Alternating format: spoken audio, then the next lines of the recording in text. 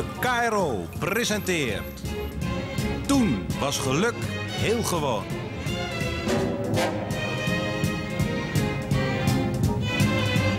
Met Gerard Cox. Joke Bruis.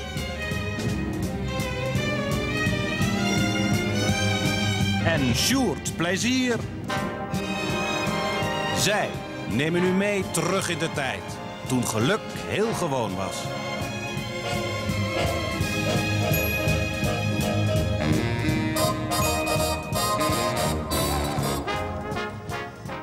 Die hele boekenweek, Simon Oostokvis, is een volslagen overbodige gebeurtenis. Zo overbodig zal jij wezen. Al hebben bedoeld om de mensen geld uit de zak te kloppen dat ze boeken gaan kopen. Om het lezen te stimuleren. Want die schrijvers zijn allemaal te lui om te werken. En daarom komen wij ook overmorgen met een speciaal themanummer van de Bruine. Vanwege de boekenweek. Ja, met de bedoeling dat eh, Zuid gaat lezen. Schij nou eens uit. Goed idee. Ja, er wordt op Zuid niet zoveel gelezen namelijk. Nee, hier wordt gewerkt. En misschien dat het door zo'n literair nummer dat het dan wat beter gaat. Ja, met interviews met schrijvers en zo. Jazeker, moet je horen wie ik allemaal heb hier zo. Jan Wolkers heb ik. Eh, Willem Frederik Hermans, Bob de Uil, Harry Mulisch, Marga Minko. Gerard Cornelis van het Leven, die heeft natuurlijk als eh, speciale medewerker van de Bruine een heel mooi gedicht geschreven. Ik heb ze allemaal geïnterviewd, plus besprekingen van hun laatste boeken. Besprekingen? Ja, recensies van deze jonge personen. Jongen, jongen. Ja, ja, wat ik ervan vind, zo. Wat kan iemand het nou schelen wat jij ervan vindt? Mij? Jou ja. Maar, op de voorpagina komt Jaap. Jaap? Hè? Ja, ja. Daar hangt het allemaal aan op, eh, als het thema als het ware. Eh, de gewone man en het boek. De gewone man en het boek? Ja, zijn lievelingsboek. De gewone man en zijn lievelingsboek. Jaap heeft nog nooit een boek gelezen. Oh? Jaap hebt nog nooit een boek gelezen? Dan moet ik toch Koos Voormeulen nemen. Helemaal niet. Enkel, die is analfabeet. Dat meen je niet. Hier ook. Analfabeet? Piem, poentje, pompernikkel en piepeling. Wij allemaal in de riool. Uh, Huip Scholt en ik zijn de enigste die kennen lezen. Het is 1968. Maar dat geeft niet, want het is toch donker in de put. Dat het nog bestaat, joh. Ik heb het allemaal en helemaal gelezen. Ik zal niet zeggen dat ik het allemaal begrepen heb, maar ik heb het gelezen. Nou, Piet Broos, schrijvertje hoor. Luister even. Zijn jullie nooit in Nikkerland geweest? Nee? En hebben jullie nooit gehoord van Piem Pam Poentje uit de Bananenstraat in Klapperdorp? Nee? Hemeltje? Dan zal ik jullie daar eens gauw een heleboel van gaan vertellen. Het is wel voor volwassenen, hoor. Piem Pam Poentje is een nikkertje van zeven jaar. Geen kinderboekenweek. Hè?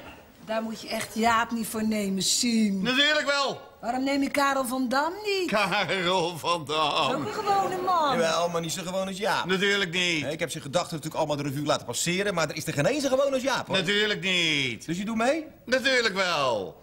En wat is dan je lievelingsboek? Dit? Dat mag niet. Van wie niet? Van Siem niet. Wie is die dan? De hoofdredacteur. Oh, Ja. Maar morgen, Jacobus, ga jij naar de winkel en koop jij jouw lievelingsboek. Zo is dat. En het moet overmorgen al in de bruine Ja, staan. het hoeft geen dik boek te wezen. Tuurlijk niet. Hallo. Hallo. Een dun boekje is ook goed. Alsjeblieft. Dankjewel. Als het maar zijn lievelingsboek is. Koffie? Lekker. Hé, hey, waarom neem je Bas niet zien? Hij is uit. Waarvoor? Voor in de bruine, je lievelingsboek. Nader tot u, van Van het Reven. Van mij het bittere kruid. Van Adrie trouwens ook. Bas is niet echt gewoon. Helemaal niet. Valt reuze mee, hoor. Jaap is gewoon. hè. Ja, hè, hè. Oké, en dus komt hij dus ja, van de week met zijn lievelingsboek op de voorpagina van de Bruine Rotterdammer. Dat dacht ik ook. Morgenavond is trouwens de opening van de Boekenweek, hè? In de Doelen. Ja, door burgemeester Thomassen, toch? Van het Reven schijnt ook te komen. Zeker weten. Zou ik zo graag naartoe willen. Hoeveel kaartjes wil je hebben? Echt waar, joh? Twee? Adrie zit toch in Frankrijk? Oh ja, die werkweek. Oh, maar dat wil ik wel. Wat moet jij daar nou? Dat is gewoon toch hartstikke interessant, man. Misschien is Margaminko er wel. Dan vraag ik een handtekening. Margaminko, de zus van Margarine. Ha. Dat is een goeie, ja. Waarom ga je zelf niet zien? Nee, ik heb geen tijd, de Bruine moet uit. Met deze jongen op de voorpagina. Oh ja, Nel, eh Jaapie heeft zijn tanden al gepoetst, maar kijk jij dadelijk even of hij slaapt? Zal toch wel? Nou, hij heeft een nieuw boek. Oh, Ja, de Max Havelaar. van Piet Broos ook. Die zou het geschreven kennen hebben, ja? Ja. En je begrijpt natuurlijk wel, Karel, dat als ik straks met die foto met mijn lievelingsboek op de voorpagina van de Bruine Rotterdammer prijk.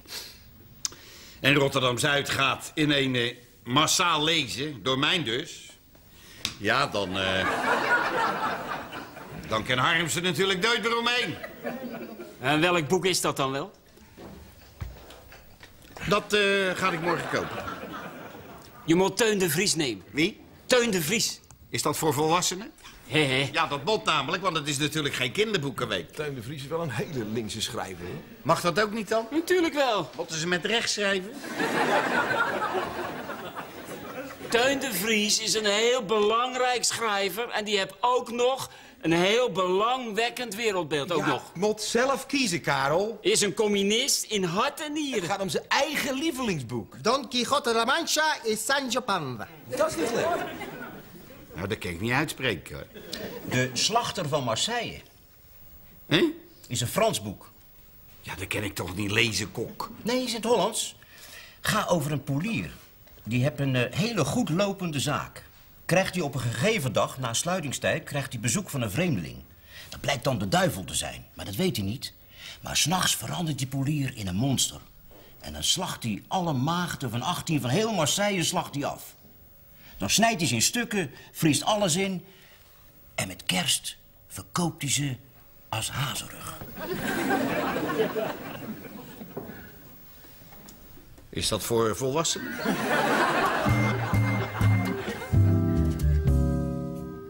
Kijk eens goed, eer, antwoordde Sancho. Wat zich daar vertoont zijn geen reuzen, maar windmolens. En wat bij hen op armen gelijkt zijn wieken.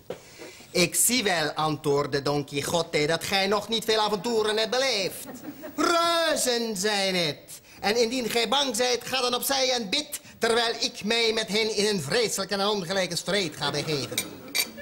Dit zeggend en zich met geheel zijn hart aan zijn Dulcinea aanbevelend, haar biddend dat zij hem in zulk een groot gevaar mocht bijstaan, zette hij, goed beschut door schild en gevelde lans, Rosinante in volle galop en viel de eerste molen aan. Toen hij hem een lansstoot in de wiek gaf, draaide de wind deze met zoveel kracht rond dat zij de lans in stukken bracht en paard en ruiter optilde, zodat een heel eind over de velden rolden.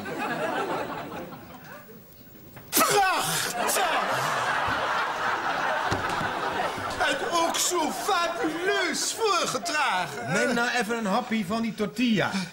Ja, hoewel ik het toch liever het het Castiliaans hoor. Ja, maar deze vertaling is heel goed hoor, senor Amundsen. Er is toch geen schrijver in ons kikkerlandje... die zich kan meten met een grootheid als... Cervantes. Nou, ik, ik heb hier het meisje met het rode haar. Is eh, van Teun de Vries. En als u mij toestaat, Maar natuurlijk van de berg. Hoe ga je gang? het is van Dam, meneer. Eh, Van Dam? Eh, ja, meneer Armsen, Nooit van gehoord. dat ben ik.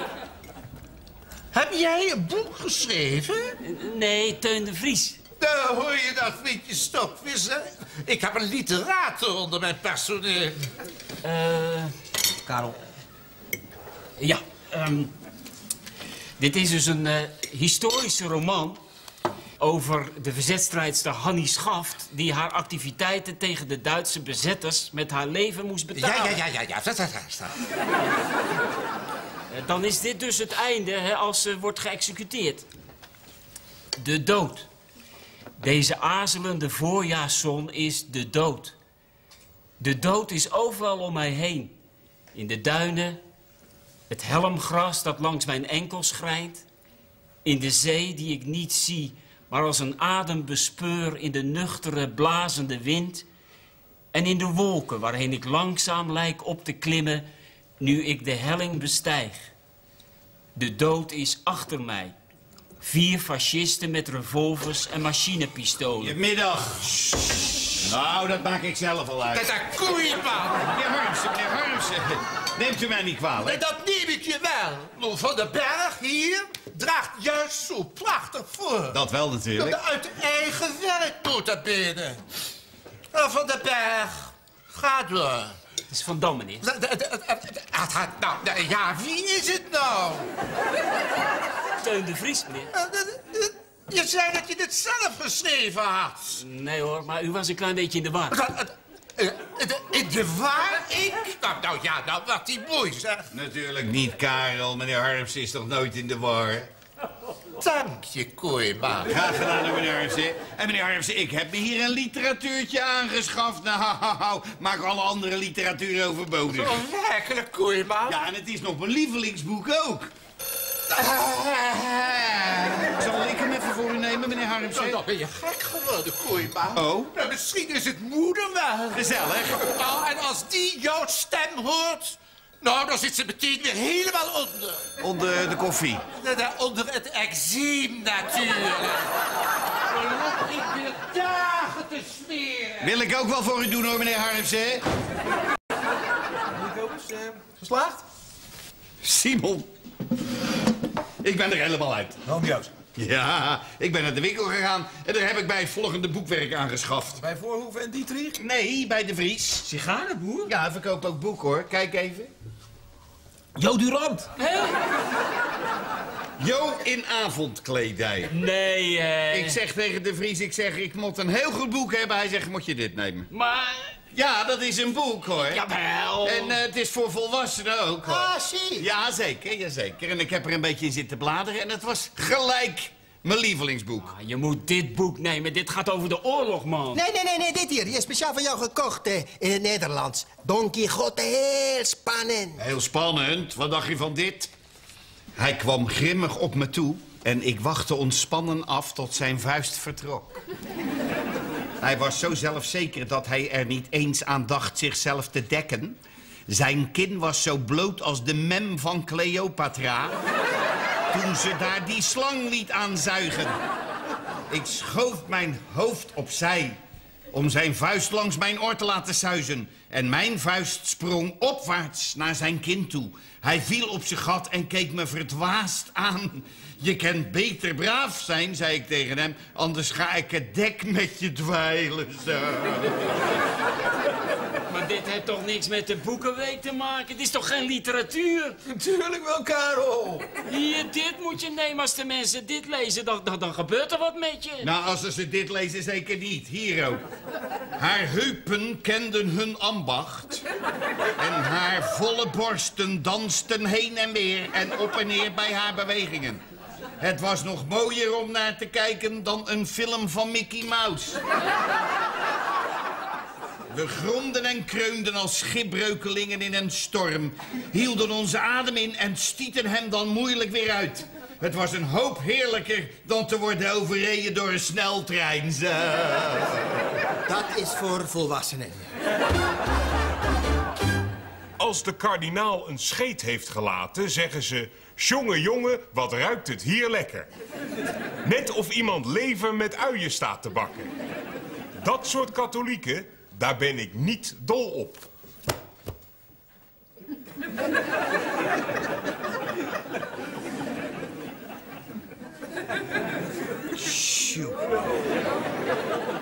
Wat nou?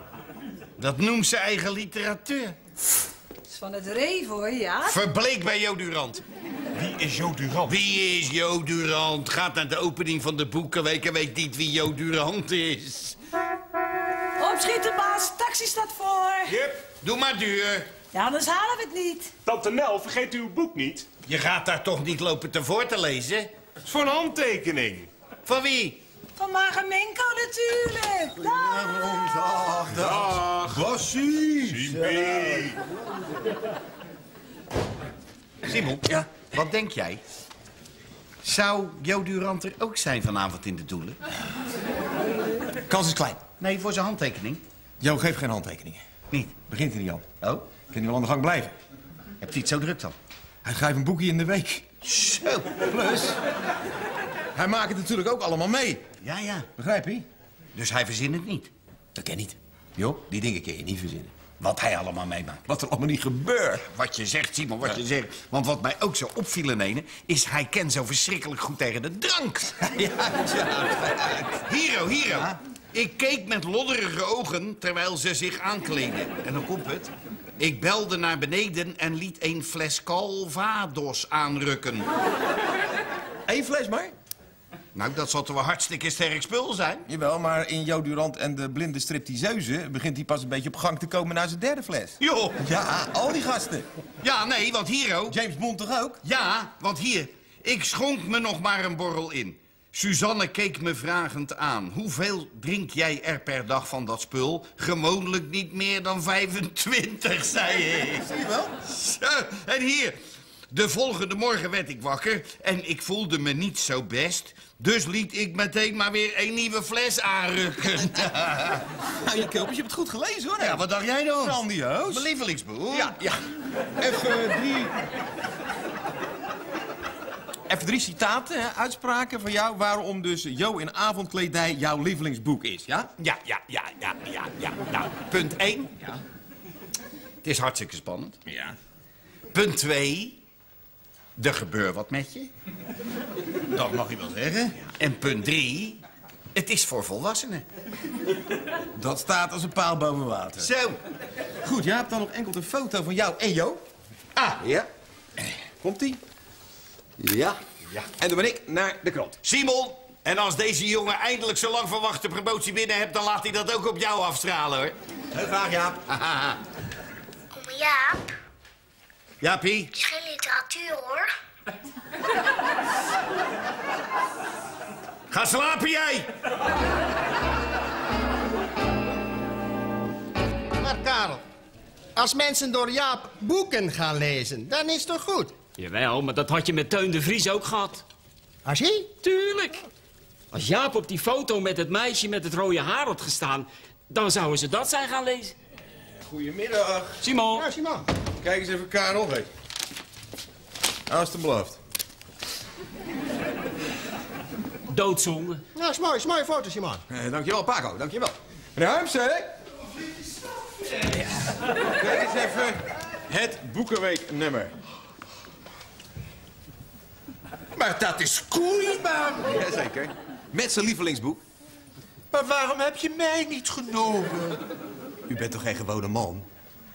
Eh, dat is waar. Eh, eh, in- in avondkledij. Dat is Jo Durant, dat is een avonturier. Dat is het nooit verhoord. Nou, toch kan je het overal kopen, hoor. Nou, nou, ga ik meteen bellen. Heel verstandig.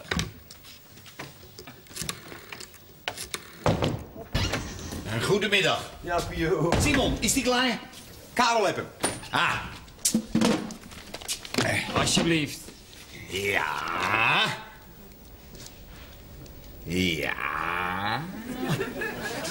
Ja. Hier, dat is even een momentje, hè? De gewone man en zijn lievelingsboek, ja.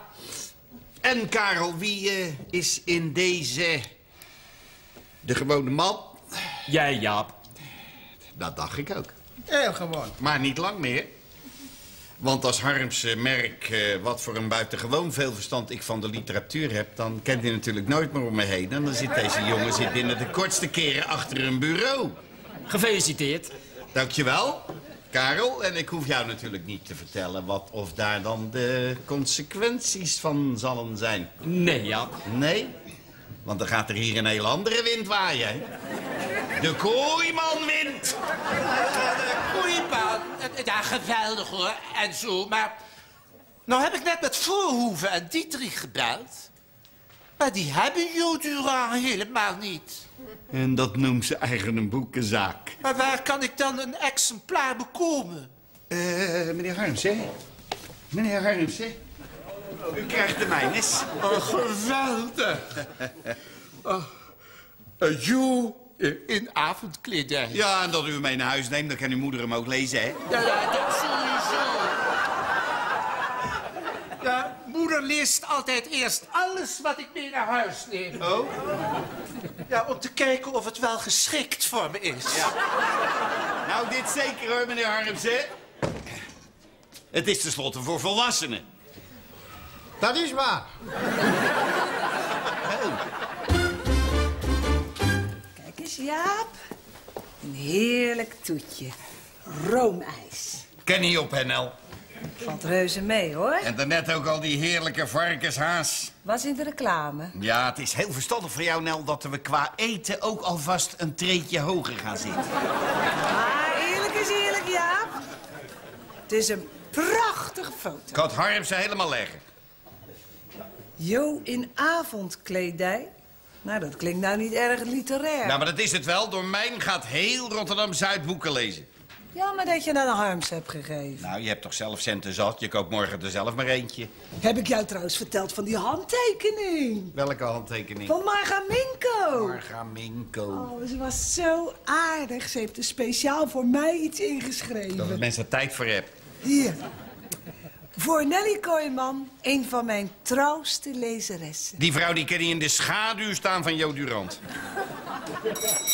Jo Durant, Nel. Jo Durant. De schrijver die alle andere schrijvers overbodig maakt. Meneer Harmsen, goedenavond. Ja, kijk even, Nel. Kijk even, mijn paas en hoogstijger persoon. Uh, goedenavond. Goedenavond, meneer Harmsen. Genoten?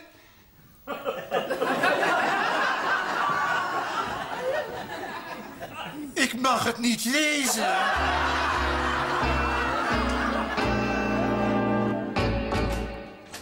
Meneer Harmsen, ik zit hier net te lezen in het bittere kruid. en Dat is me toch een literatuurtje?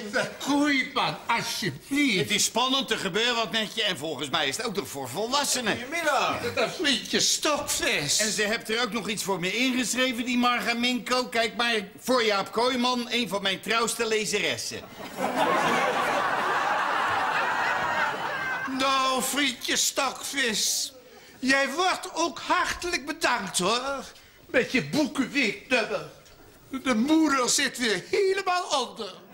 Ja, het is wel een grandioos succes. Aha. Ja, er is nergens geen, geen Jo Durant meer te krijgen. Heel Zuid, lees. Ah, wat- ik ben eigenlijk vooral boos op moeder. Oh? Ja, iedere keer als ik een boekje mee naar huis neem... waarvan je aan de buitenkant kan zien dat het voor volwassenen is... mag ik het niet lezen. Jongen, jongen, jongen. Eh, zo heeft ze me ook al Goo Goo Girl, Jerry Cotton en de Cascadellen door de neus. Hoor je dat, Simon? Ja, maar dat leed is dus nu geleden. Want kijk eens wat ik hier heb, meneer Harmsen. De allernieuwste roman van Jo Durant. Vriendje Stokvis. Vers van de pers, rechtstreeks uit de burelen van de Bruine Rotterdammer. Hè? Ja, we drukken ze voortaan zelf, want de vraag hier op Zuid is onverzadigbaar. Maar vriendje Stokvis, het mag toch niet van moeder? Maar die hoeft toch nergens van te weten? Oh, ga je het haar dan niet vertellen? Maar natuurlijk niet. Geen haar op mijn hoofd die er aan denkt. Uh, dankjewel. Eh. Jaap en ik willen heel graag meegenieten. O ja? Heel graag, meneer Harmsen. Heel goed.